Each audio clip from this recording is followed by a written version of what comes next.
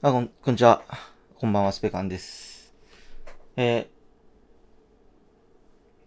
ー MPC が、えっとですね、いつアップでした？水曜日？えっと、昨日、多分アップデしたと思います。でですね、すげえアップデートなんですよね。今回のは。大型アップデート。えー、一つは、わかりやすいので言うと、シンセが加わったってことですかね。で、僕はあんまりそこ実は興味ないです。で、もうちょっと言うと、UI が変わり、UI でいいのかねこういうのって。UI が変わった。で、まあ、これだよね。目玉。俺にとっての目玉。フィンガードラマーで、生ドラマーの目玉。オーディオインターフェースが使えるようになった。外付け。これでですね、皆さん、もう本当申し訳ない。もし僕の動画を見て、え、フロー8買った人、本当すいません。でも俺のせいじゃないから赤いのせいです、それは。えっとですね、2 in 4アウト以上のオーディオインターフェースであれば、クリックと、えー、上ネタ。で、PA さんの方には、上ネタのみっていうのを、えー、やっと、ケーブル一つで、えー、可能になりましたよってことですね。まあ、それがまあどういうことなのかっていう、ちょっとしゃっくりが本当に止まんない。どういうことなのかっていうのを、ちょっと説明するとですね。えー、メニュー画面行って、ハグルムマークを押す。そして、ハードウェア、じゃねえや、オーディオデバイスっていうところにですね、えーここのオーディオデバイスで接続してる、えーオーディオインターフェースの名前が出てきます。それを選んでください。それだけです。せ設定は。で、えー今は、うんと、こっからか。こっから、えーパッドミキサーっていうのに飛んでもらって、で、今のね、設定のを言うとですね、ここにキックが入ってます。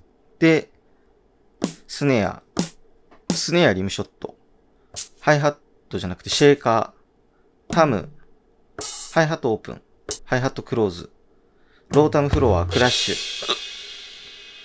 って感じで今入ってて、で、ここに上ネタが入ってます。こことここ、ここに。で、この上ネタを叩くと、C バンクに入ってるクリックっていうのがですね、なります。で、えーっと、じゃあとりあえずね、クリックありの状態をまあ、まずみんなに聞いてもらいましょうと。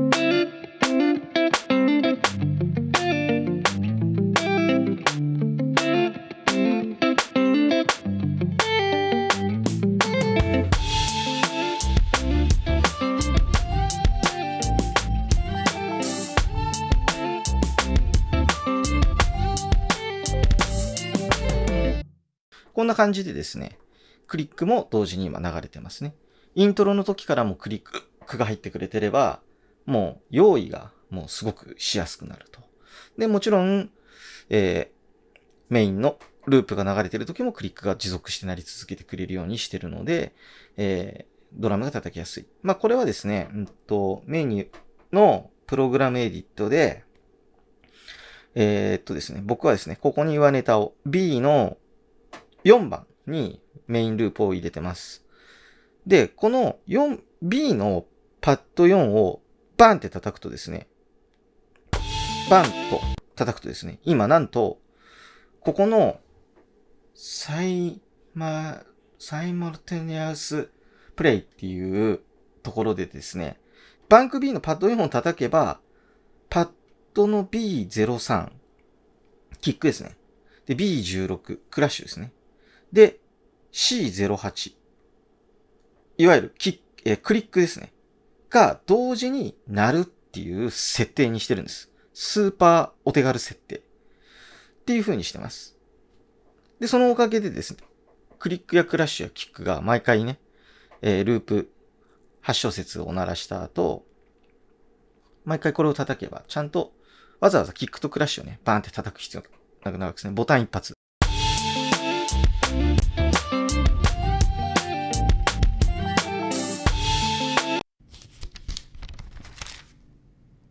っていう感じでできるよっていう設定にしてるわけです。で、MPC Live 2単体だとですね、クリックもどうしてもみんなに聞こえちゃうわけですよ。で、それを回避するために、えー、フロフロー8っていう前回紹介した機械や、えー、まあ、安物のミキサー、こういうね、ミキサーに、えー、すげえめんどくさい方法でやりましたよね。うんと、3、4チャンネルを入れ、で、このイヤホンのヘッドホンのアウトからさらにここに入れ、で、ここにヘッド、ヘッドホンを挿すと。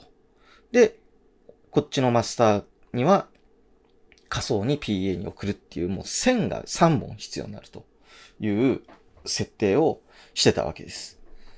でもですね、オーディオインターフェースを使うことによって、USB の線1本でそれが良くなる。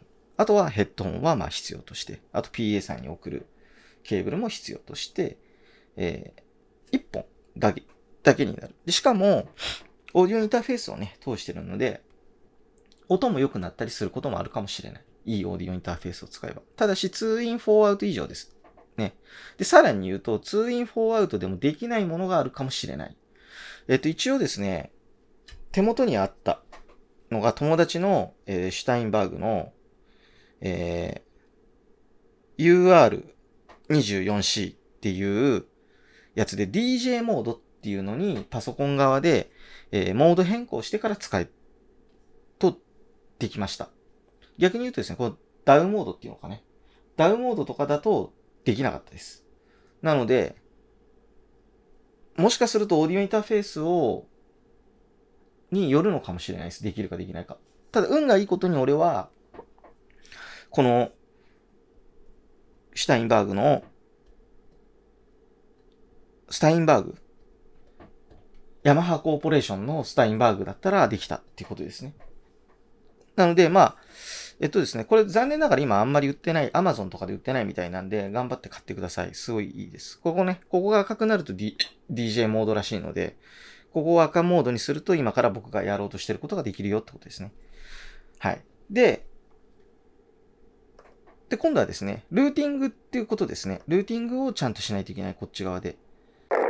またパッドミキサー行って、じゃあクリックだけを、えー、ヘッドホンに返すのにですね、バンクシーの8にクリックが入ってますね。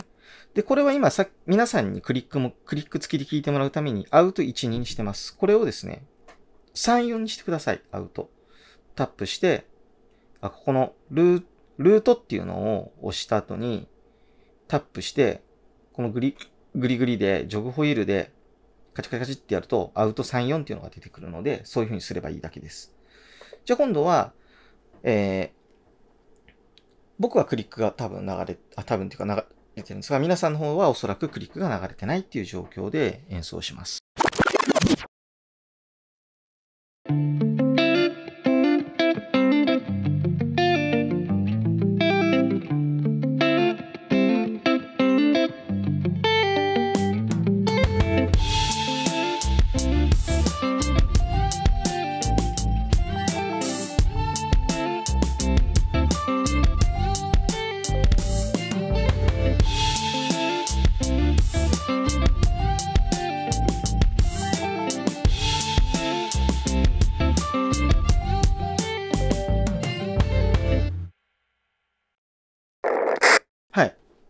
おそらくクリックがいってないと思います。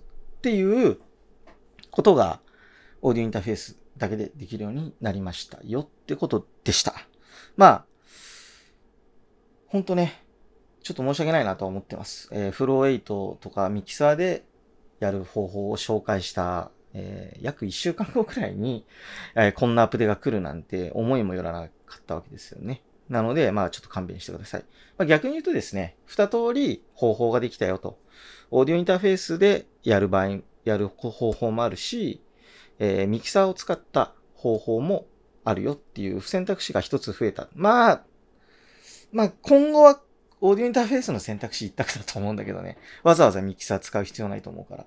でも、ミキサーさえあれば、今言ったこともできますよってことですね。で、オーディオインターフェースのでもいいなって思うのは、やっぱり、その使う線が少なくなったし、まあ、カメラに直差しもね、しやすくなるよね。その、ミキサーでもできるけど、まあちょっとミキサーってなんか、なんつうのかな。こうミックスするのが本当に、ミキサー側でもミックスできちゃうから、結構難しいと思うんだよね、音が。でも、オーディオインターフェースの場合は、普通にこっちで行ったミックスがそのままこっちに反映されて音が出力されていくので、難しいことしなくていいですね。こういうものに関しては。でそうすると、まあ手間も省けるし、まあ、あれっつって MPC だけで作ってた時の音となんか違うな、みたいなことが起こりづらくなるので、まあいいんじゃないかなと思います。もちろん、そのオーディオインターフェースもね、オーディオインターフェース側の設定で EQ いじれたりするものとかもたくさんあるんですが、まあこういうシンプルな、もう原因ぐらいしか、なんだろう、いじれるところがないようなオーディオインターフェースだったらすごく楽になると思いますね。ある種、いろんなこと考えなくていいので、MPC 側だけで考えればいいっていう風になるので、でそういう意味でもですね、すごくいい商品な、商品というか、いいアップデートじゃないかなと僕は思いました。えー、ただし、えー、一つ欠点があります。スピーカーから音出なくなります。えっ、と、外付けの、うんと、ハードデバイス、まあ、オーディオインターフェースを指した場合は、えー、MPC 側のオーディオインターフェースっていうのは全部死にます。だそこだけ気をつけてください。まあ、僕はライブやるとき、もし、えー、やることがあるのであれば、これを持っていくっていうことになりますかね。これが一番、もう安定じゃないかなと思う。これすごいよね。だって、電源いらないからね、しかも。